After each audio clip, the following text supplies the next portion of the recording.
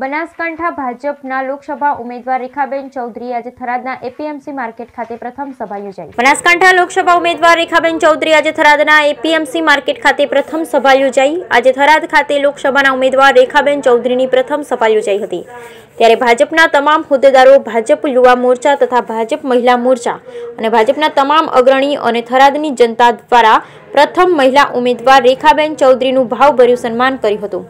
અને રેખાબેન ચૌધરીને થરાદની જનતા દ્વારા અને થરાદના હોદ્દેદારો દ્વારા રેખાબેનને મોટી લીડથી જીતાડીને મૂકશું એવા આશીર્વાદ અને વચન આપ્યા હતા.